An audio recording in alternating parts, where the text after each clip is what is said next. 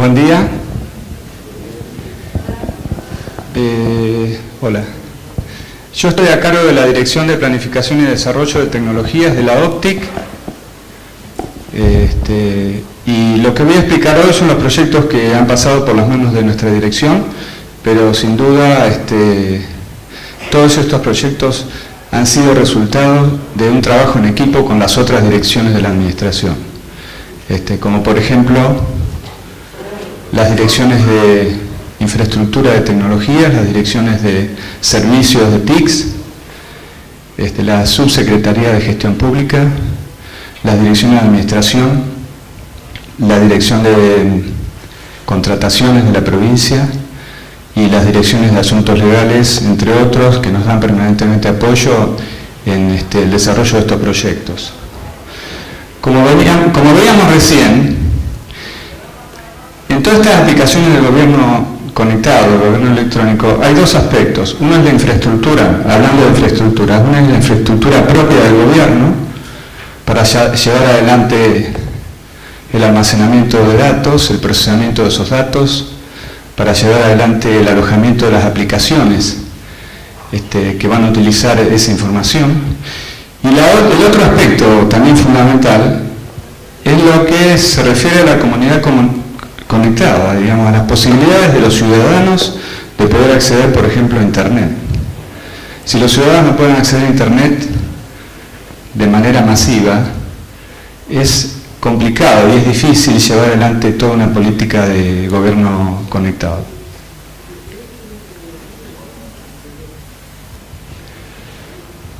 Bueno, brevemente, eh, los recursos humanos que contamos en la dirección son este grupo de seis ingenieros y, este, y otros expertos.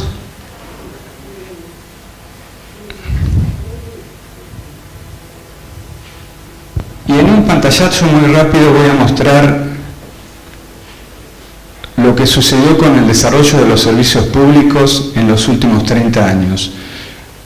Los servicios que yo voy a mostrar a fines de la década del 70 no existían. El gobierno nacional tenía la exclusividad a través de Entel en el desarrollo de los servicios públicos y el gran esfuerzo de inversiones los hacía en ese momento, eh, sobre todo en la ciudad de Buenos Aires y Gran Buenos Aires, donde estaban las concentraciones humanas mayores. Eh, la provincia de Neuquén estaba al margen de estos planes de desarrollo y a través de convenios que se firmaron a fines de, los, eh, de la década del 70 se llevó adelante planes importantes este, conjuntamente con el gobierno provincial. Este, esta fue una iniciativa de la provincia que permanentemente presionó ante Entel para poder lograr llegar con comunicaciones telefónicas, con televisión este, a los distintos lugares. En Neuquén, en la provincia de Neuquén, a fines de los 70 había solamente televisión en la ciudad de Neuquén, había solamente telefonía, digamos, de larga distancia automática en la ciudad de Neuquén. El interior de la provincia estaba incomunicado. Hoy tenemos de repetidores de televisión que repiten el canal 7 de Neuquén y repiten programación de RTN en 44 localidades del interior provincial, se recibe a través de un vínculo satelital y se repiten al aire localmente en esas comunidades.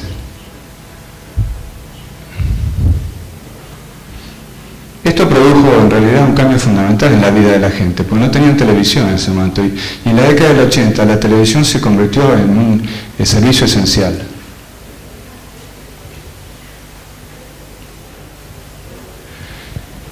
Ese sistema satelital también da servicios y le hace llegar la señal a 49 repetidoras de FM, serían radios de FM que están en los municipios del interior. Es, esa básicamente es señal y programación de RTN que se le manda a las repetidoras, se le manda a estas radios de FM para que puedan ampliar su programación con información este, producida por, RTN. Y por otro lado vemos que primero con Entel y después con Telefónica y las cuatro cooperativas telefónicas neuquinas se logra una red de casi 50 centrales telefónicas electrónicas públicas conmutadas en todo el interior. Este, hoy en día, si uno recorre la provincia, hasta en los parajes más este, pequeños y alejados, tenemos telefonía este, como un servicio público esencial. Y en la década, a fines de los en la década del 90 y, en la década del 2000 eh, se ha desarrollado la telefonía celular con tres operadores nacionales que están en Neuquén y cubren casi el 90% de los municipios y, y de las comisiones de fomento de la provincia. Este es un mapa que, bueno, tal vez no es para esta presentación porque no se ve claramente, por ahí están las localidades. Respecto a la banda ancha en la provincia de Neuquén, hay 12 operadores principales que están aquí, el tipo de servicio que prestan, la tecnología que están usando y las ciudades donde están prestando los servicios. Fíjense que Neuquén, por ejemplo, este, es, un ámbito donde eh, compiten eh, nueve operadores, Plotier y las demás. Y estas son las otras ciudades, este, donde en algunos solamente hay un solo o dos operadores, pero ha habido una presencia importante de la empresa privada que no es suficiente, pero que ha permitido avanzar con la banda ancha en el interior. Acá están presentes cuatro operadores que son las, cooperativas telefónicas provinciales, la de San Martín de los Andes, la de Cutrancó, la cooperativa Calfen Plotier y la cooperativa de Centenario, que son actores centrales, porque ellos de la década del, 70, del 60 vienen desarrollando infraestructura en, esas localidades. Y ahora tienen planes de expansión para expandirse fuera de sus áreas de servicio con servicios de acceso a Internet y en algunos casos servicios celulares con la nueva empresa Nuestro Celular que está manejada por FECOTEL, que es la Federación de Cooperativas del sur del país. Respecto a los proyectos que se desarrollaron en la gestión del 2007-2011, ya veíamos en la plataforma del gobierno actual, eh, en, la etapa previa a, las elecciones del 2007, cuáles eran, entre otras, los objetivos este, que quería llevar el gobierno adelante, que era reducir la brecha digital en la provincia, la brecha geográfica por la ubicación. Este, los que viven en la ciudad de Neuquén tienen múltiples posibilidades de acceder a servicios, los que viven en el interior tienen dificultades serias en muchos casos, y la brecha social, referida a las posibilidades de cada uno, de acuerdo a su poder adquisitivo, adquirir servicios, este, y aunque vivan en grandes ciudades donde hay múltiples este, oportunidades, no pueden hacerlo por una cuestión este, de presupuesto personal. Desarrollar infraestructura en todo el territorio. Este fue uno de los objetivos este, prioritarios del gobierno provincial y en donde ha concentrado las eh, inversiones que ahora vamos a mostrar. Multiplicar los accesos a Internet en todas las escuelas de la provincia. Este, esto es un tema que se resuelve con cierta facilidad en las grandes ciudades, pero eh, tenemos más de 200 o 300 escuelas rurales donde hay una complejidad cierta para llegar con banda ancha a esos lugares. Entonces ahí se va a crear, eh, si el gobierno no toma una acción concreta, se va a crear una diferencia real entre los alumnos de las escuelas de la ciudad de Neuquén, por ejemplo, o de las ciudades eh, colindantes y los alumnos de las escuelas rurales que no van a ver en su vida de, alumnos la posibilidad, no han tenido la posibilidad de acceder a una computadora.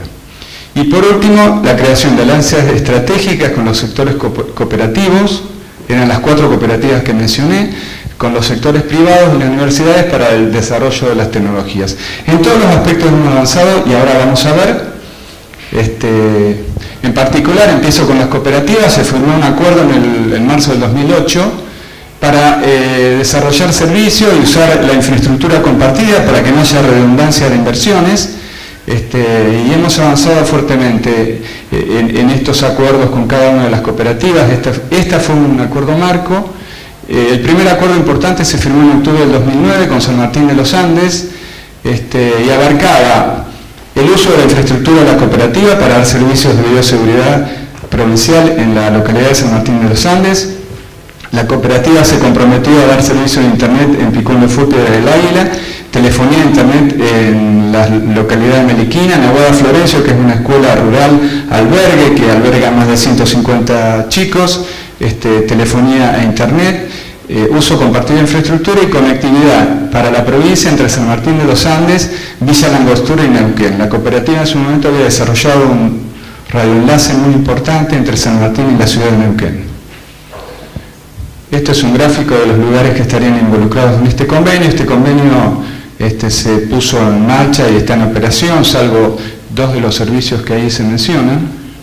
En mayo de este año se firmó un convenio con Copelco, que es la cooperativa telefónica de Cutralcó, por medio del cual eh, la cooperativa completa los servicios de acceso a Internet en banda ancha en todas las escuelas de Cutralcó y en 10 centros de salud de las ciudades indicadas, de Plaza Wincor, perdón.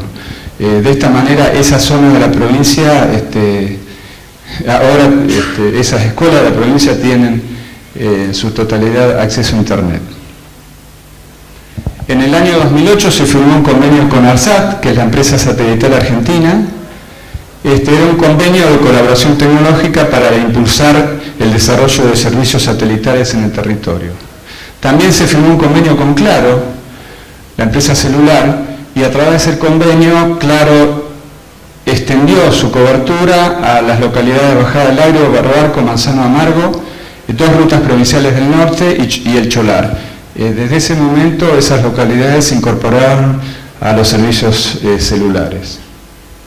Hoy es muy difícil convencer a las empresas, particularmente celulares, que hagan inversión en lugares como estos, donde Manzano Amargo, son localidades que tienen 200, 300 habitantes, no hay rentabilidad, entonces tiene que haber eh, una gestión fuerte del gobierno para llevar adelante a través de acuerdos este, y de beneficios para ambas partes la, la necesidad de estas inversiones. En julio del 2009 firmamos un convenio con la Cámara Argentina de Internet. La Cámara Argentina de Internet es una organización privada que se creó en el año 98 y que reúne a los ISP, Internet Service Provider, eh, que están en, el AMBA, en la ciudad de Buenos Aires y sus alrededores, y en la cual no participa ni Telefónica, ni Telecom, ni alguna otra empresa grande del país que tiene sus propios nodos de Internet. Este, frente a la realidad que vivían, frente a esos grandes operadores, los DSP argentinos decidieron nuclearse en esta Cámara y ellos eh, configuraron un nodo central este, que les permite acceder a Internet por fuera de los grandes operadores nacionales con un montón de beneficios que se fueron demostrando con el tiempo. En su momento nos acercamos a ellos y dijimos tenemos que crear un, digamos, un nodo local en la provincia de Neuquén, estuvieron de acuerdo, se hicieron los estudios de factibilidad en julio del 2009, en julio del 2010 este, se hizo un acuerdo con todos los ISP locales en Neuquén, no son todos, pero son una docena de ISP locales, y se puso en marcha el, nodo que se llama NAT Cabase Regional Neuquén. En marzo del 2011 también firmamos con Movistar para extender eh, los servicios celulares en cuatro sitios, son en Manzano Amargo, en El Sauce, en Santo Tomás y en Paso Aguerre, que bueno, es un convenio que está en ejecución.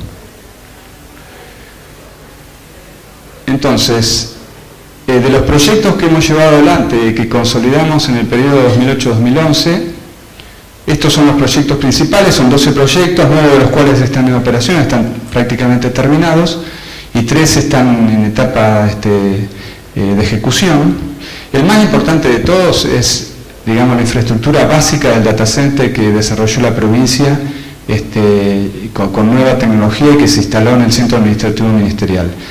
Este data center permite hoy prestar servicio y alojar las aplicaciones propias de la provincia y además dar soporte a los demás entes de la administración, por ejemplo, rentas, el EPEN, este, policía o cualquier otro este, ente de la administración que necesite eh, redundancia o vacapear sus servicios en, un centro este, profesional, eh, el data center nuestro está perfectamente preparado para esa instancia.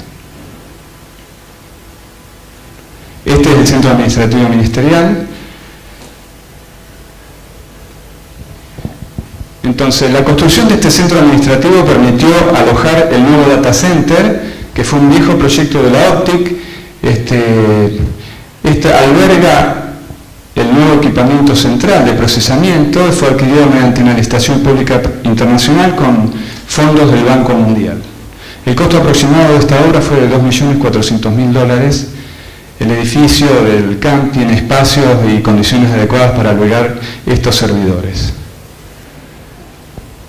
Cumple con los estándares internacionales, tiene cableado estructurado, piso técnico, acceso biométrico con huellas digitales, sistema de energía ininterrumpida redundante, climatización y grupo electrógeno para energía redundante. El data center principal es ahora el del CAM y que reemplaza al data center que está en el edificio de la Secretaría pero que sigue ese, ese data center de la Secretaría funcionando perdón, como sitio de contingencia del data center principal. En el, nuestro data center podemos hacer entonces resguardo de la distinta información y base de datos y aplicaciones de eh, los, entes de la administración. Ya estamos en tiempo. No, imposible. Deja, algo, para el año La gente necesita saber esto porque nadie conoce estas cosas. Este, yo quiero hacer mención que el data center eh, anterior, el que, el que va a trabajar como contingencia, funcionó durante 12 años 100.000 horas sin interrupción. Eran, eran, son 15 procesadores, 120 discos funcionando permanentemente, ventiladores, que este, es un caso para analizar esto, por la confiabilidad que tuvo.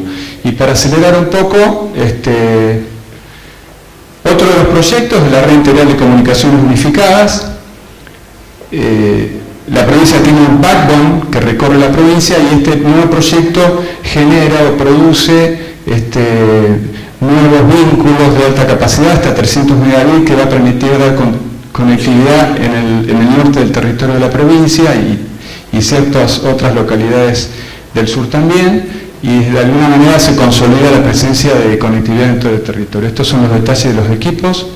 Después lo van a poder ver esta presentación por internet. El telepuerto Neusat que ha adquirido la provincia es un telepuerto propio, hasta ahora se, están usando eh, la infraestructura este, de ARSAT y de Telefónica.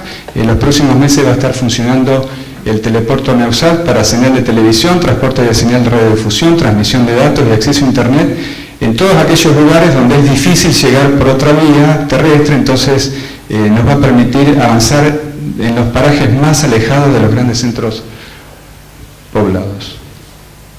Este es un esquema de la situación actual. Actualmente eh, nos da el servicio de televisión y en el futuro vamos a tener este, distintas maneras de, prestar servicios a través del telepuerto. Vamos a tener también un canal en el telepuerto para transporte de señal de televisión digital, que es digamos la televisión que se viene en la próxima década.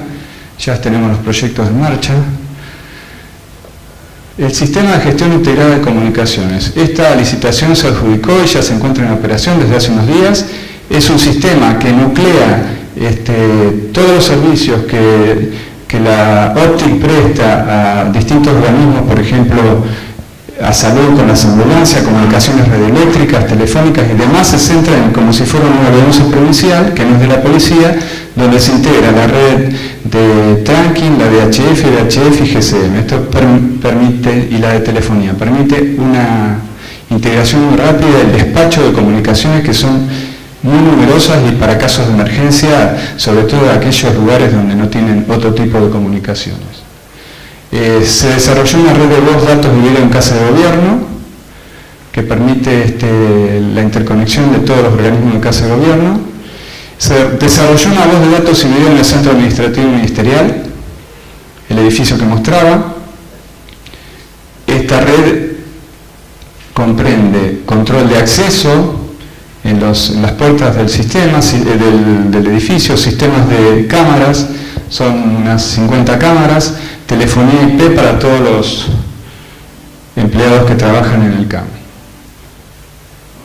Está en proceso licitatorio una red inalámbrica para la Casa de Gobierno y el CAM, que va a permitir que con eh, elementos portátiles como netbooks o este, PDA o sistemas este, móviles podamos acceder a Internet eh, de manera inalámbrica. También desarrollamos un sistema de bioseguridad pública en San Martín de los Andes y Villa Langostura. Eso se encuentra en operación desde el año pasado y este, es un elemento importante de seguridad que este, las localidades estas venían requiriendo desde hace muchos años. Entre las particularidades que tienen estos sistemas, la compresión que se está usando, que es de última generación, este, el sistema de detección de patentes, que está puesto en las rutas de entrada y salida de las dos ciudades, eh, digamos que va almacenando y va comparando la patente de los vehículos que atraviesan las rutas con una base de datos de vehículos robados o vehículos este, con pedido de captura y inmediatamente salta la alarma de esos vehículos. Este, y una particularidad, en San Martín de los Andes hemos usado el par de cobre, que es el plantel telefónico de la cooperativa para el transporte de las imágenes. Esto se logra con esa tecnología de compresión, de compresión y la calidad eh, de las imágenes es muy buena. En conclusión, las inversiones en tecnología, en, diría en el año 2010 y 2011, que hemos manejado nosotros desde la OPTIC, eh, alcanza alrededor de 9 millones de dólares. Acá están los valores. Eh, como verán, hay una decisión del gobierno provincial de invertir en tecnología y de llevar adelante este desarrollo de gobierno electrónico y de, comunidad conectada. Faltaba un sistema de acceso a Wi-Fi que estamos eh, desarrollando y que está prácticamente en servicio en la localidad de Chocón, donde hay dos puntos de acceso para que la gente en el centro comercial pueda acceder a Internet. Hablo del NAP Cabase Regional Neuquén, que se mencionó hoy. Este es un NAP que, digamos, si hacemos un poco de historia, Telintablo, ya hablábamos, ofrecía este, 64 kilobits de ancho de banda, 7 mil dólares por mes en el año 97. Acá Enoch me decía que era 40 mil dólares por mes. 64 kilobits con un nodo de internet en Miami o en Londres. Eso pagaba a la Argentina cualquier operador que quería conectarse a internet. Este, en el exterior esos enlaces se, se comercializaban 800 dólares estos valores se trasladaban al usuario final. En el 2005 Telefónica comercializaba el megabit en Neuquén en 1.200 dólares en la ciudad de Neuquén. Con el NAM Neuquén hemos bajado ahora a 79 dólares masiva. Eh, digamos que es un beneficio importante en las posibilidades de acceso para los operadores locales. Y es importante ver este cuadro que es eh, el barómetro Cisco de banda ancha, donde es de hace dos años, pero hay que agregar unos 5 o 6% más, la ciudad de Buenos Aires tiene alrededor del 50%, o sea, cada uno habitante uno tiene acceso a banda ancha, en la, provincia de Neuquén es ahora alrededor del 15%, este, y estamos entre las provincias este, cabeceras en esto. Imagínense, en el norte del país es 1, 2, 3, 4%, o sea, nadie tiene banda ancha. Realmente esto conspira realmente con, la, política de un Estado de desarrollo del gobierno electrónico. Entonces el NAP es una infraestructura común que conecta a todos los operadores de una región o algunos operadores, los que estén interesados en participar. Por supuesto en este NAP no participa Telefónica, que fue el operador dominante en su momento y que digamos fue una de las empresas que generó una barrera para el crecimiento del desarrollo de Internet por los costos este, inusuales que cobraban el acceso. Este, y de las ventajas es, todo el tráfico local este, circula por el switch de Neuquén y si no tenía que ir a Buenos Aires o conmutar en, el NAP de las Américas en Miami con la eh, pobre eficiencia que eso genera en un tráfico de una región y, el tráfico internet al extranjero sale por el NAP base, hay una fibra que conecta los dos NAP y hoy, por ejemplo, les puedo decir que Google ya se ha conectado al NAP o sea, al NAP este, Cabase en Buenos Aires, o sea que todo el tráfico por Google directamente sale por el NAP Cabase en Buenos Aires y no tiene que ir a los distintos nodos o NAPs este, de otras empresas. Estos son los miembros, la Secretaría de Gestión Pública no es un ISP, no es de acceso a Internet, pero por la importancia que tiene el gobierno y porque fue un elemento de sinergia para la creación de este NAP, somos socios activos eh, del NAP impulsores. Es más, yo soy el conductor de, tengo, digamos, la conducción del, del nodo, de la organización Neuquén. Y los nuevos proyectos, el principal proyecto que visualizamos en esta etapa, en los cuatro años que vienen, es el Plan Nacional de Telecomunicaciones Argentina Conectada. Hemos firmado dos convenios con el Ministerio de Planificación para llevar adelante este plan que prevé la instalación de fibra óptica en todo el territorio y distintos servicios que va a prestar la nación y la provincia, sistema de televisión digital en, Neuquén y en el interior, este, seguridad en la ciudad de Neuquén, en Zapala, en Junín de los Andes y en otras ciudades, ampliación de la red de comunicaciones para Aluminé y Pegüeña, adquisición de nuevas 100 visas para escuelas del interior y expansión de los centros comunitarios infotecnológicos a los cuales se va a referir Alejandra. Bueno, el plan este, que decía, plan denominado este, Argentina Conectada, que está impulsando el Gobierno Nacional, eh, prevé, y ya el viernes me enteré que se lanza la licitación del tramo, digamos, Mendoza, toda la ruta 40, San Martín de los Andes, Villa Angostura, este, que va a modificar el escenario de la conectividad en la provincia, digamos va a permitir que todas estas localidades que se encuentran en todo el interior provincial tengan fibra óptica que hasta hoy lamentablemente no, existe. Este plan también prevé tramos provinciales que en, el que va a participar la provincia, que es la conexión de la ciudad de Neuquén, eh, la zona de Piconefú, Aluminé, Cabiahue eh, y Andacoyo y el Rincón de los Sauces.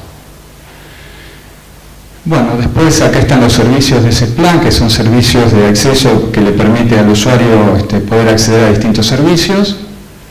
Este, el sistema de videoseguridad que estamos planificando para la ciudad de Neuquén es un sistema que comprende la conectividad a todas las escuelas, a todas las comisarías y a distintos puntos donde se van a ubicar cámaras de videoseguridad para el monitoreo de este, la vía pública en la ciudad de Neuquén. En particular estamos poniendo un nodo en la barda, un nodo inalámbrico que va a cubrir toda la zona del oeste de la ciudad, el, barrio San Lorenzo, norte, este, Gran Neuquén Norte, Cuenca 15, que no, hay fibra en este momento y no se pueden interconectar por fibra. Todos los demás eh, puntos de acceso se van a interconectar por fibra óptica.